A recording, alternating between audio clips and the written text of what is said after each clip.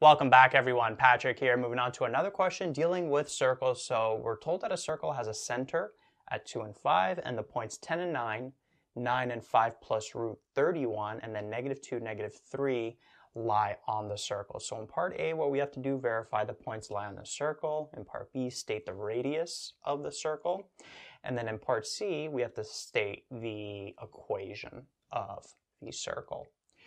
So notice that this question, very similar to the previous question, where we're verifying that points lie on a circle, except in this particular video, I'm gonna go about it in a slightly different way.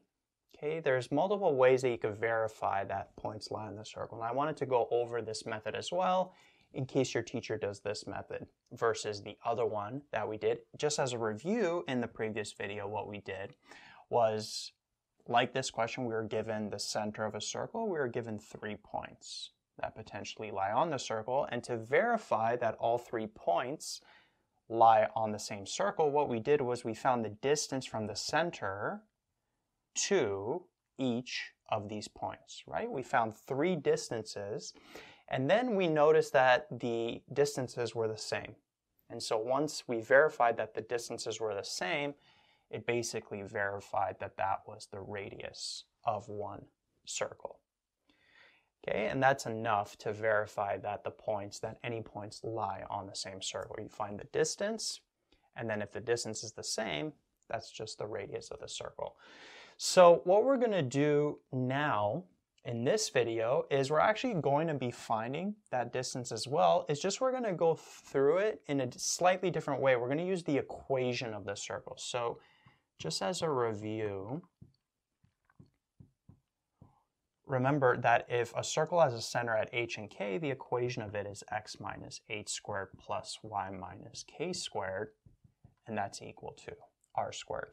Well, notice we're told, what's the center of the circle? It's 2 and 5, right? So we'll have x minus 2 squared plus y minus 5 squared equals r squared, like that. And so what we can do is for each of these points, each of these three points, we could take that point, plug it in for x and y, and then notice we could solve for the r. Right? And we'll plug in all three points, and if we solve for the radius, and the radius is the same for all three points, then they're lying on the same circle. So it's actually the exact same thing, it's just that preliminary step is different because if you remember, what we were doing was we were finding the distance from the center to each of these points. Well, the center in this case is 2 and 5, and then let's label this as x1, y1, and then these points, let's keep it general. We'll label it as x2, y2. So the distance, what's the distance formula? If you remember, it's the square root of x2 minus x1 squared plus y2 minus y1 squared. Well, x1 and y1 is going to be the same for all three distances. So, so it's going to be x2 minus 2 squared plus y2 minus 5 squared.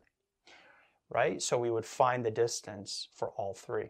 Now notice that this and this, they're the exact same thing. Right? Because if we isolate for this radius here, notice it's r squared. Well, to isolate for the r, we could just square root both sides, and then notice that the square root of something squared, well, it just isolates for that base. And notice that this formula and this formula, they're the exact same thing. So it's actually the exact same method that we're using. It's just that preliminary step is a little bit different, right? Here we're using the distance formula directly versus here we're using the equation of a circle to get to that distance formula, to get to that radius. So it's actually the same method. Again, it's just that beginning is the same. And I didn't want, for example, your teacher going through this and then you getting confused about how does this and this relate. It's actually the same thing. Okay, it's just those first preliminary steps are a little different. But if your teacher is using this method, then feel free to just use this method as well with these points. You're going to end up getting the same radius that I'm getting when I'm doing it this way over here. Okay, so let's um, let's verify that these points all three points have the same radius from that center. So let's plug in the first point. So we'll plug in 10 for x, and then we'll plug in 9 for y. So we'd end up with 8 squared plus 4 squared, which would be 64 plus 16. And so r squared is equal to 80. And then to isolate for the r, we could just square root both sides. So the radius is root 80, like that. Okay, so here the radius ends up being root 80.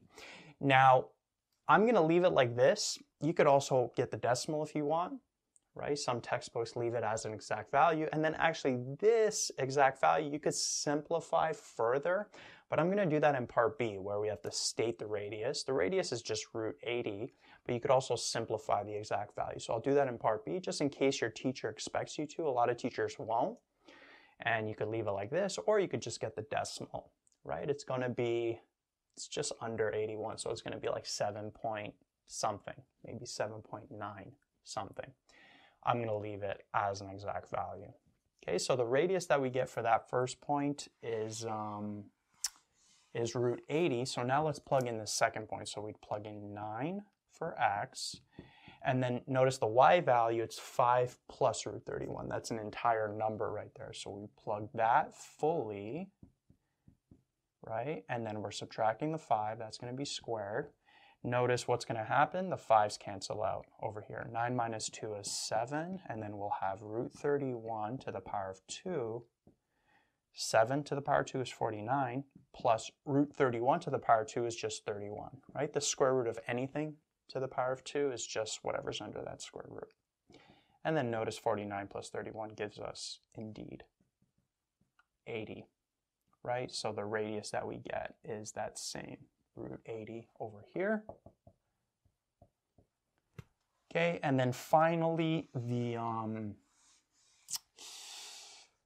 the third point, plug it in. So we'll have um, negative 2 minus 2 squared, right? Negative 2 for x, and then we'll have negative 3 minus 5 squared, negative 3 for y. So we'd end up with negative 4 to the power 2 plus negative 8 to the power 2. And then notice we end up with that 16 plus 64, 80. So the radius is root 80. So notice we got the same radius or the same distance. This is the distance that you would get from the center to all three points. It's root 80. It's the same for all three points. And that's enough to verify that those three points lie on the same circle that has a center at 2 and 5. Okay, so that's part A. Now in, um, I'm going to leave this because we're going to need it for part C. Now in part uh, B, they ask you to state the radius. So you can leave it like this. Sometimes textbooks may simplify this square root a little further. And the way you could do that is you can think of a number that's rootable that you can divide 80 by. And so that would be, you could divide it by 4, so we can, you know what, I'll just erase this. So we can rewrite this as root 4 times root 20. Okay, root 4 times root 20 gives us root 80. And so notice that this root 4 is just 2. And then we'll have 2 root 20. But then the root 20, notice that that could divide by 4. So we can rewrite this as 2 times root 4 times root 5. And then we'll have 2. The root 4 is 2. 2 times 2 is 4, so 4 root 5. Okay, so that's another way to state the radius. Again, if your teacher doesn't expect you to do this, or if you didn't do this in class, you can just disregard this. You can state the radius as root 80, or you can get the decimal. But in case maybe your textbook or your teacher expects you to do this, this is why I wanted to go over it. Okay, so 4 root 5 is the exact same thing as root 80 if you plug both of those into your calculator. Now, what if you didn't want to do these two steps? What if you wanted to get here quicker? Well, you can realize that root 80 you can actually divide by 6, or uh, 80 you could divide by 16, and 16 is a rootable number. So we could have rewrote this as root 16 times root 5, which would give us that 4 root 5 directly, instead of going through two steps right? So you could have recognized that, yeah, you, we could divide it by 4, the 80, but we could also divide it by 16, and 16 is a rootable number. All right, so different ways to state the radius, root 80 or 4 root 5, or if you want to get the decimal, 7 point something. And then finally, part C, really easy. What's the equation of the circle? Well, we would just plug in root 80 for the r value, and then root 80 squared gives us just 80. So we'd end up with 80 on the, um, on the right side. And so that there ends up being the equation of this circle that's centered at 2 and 5. And uh, yeah, that's it for the question.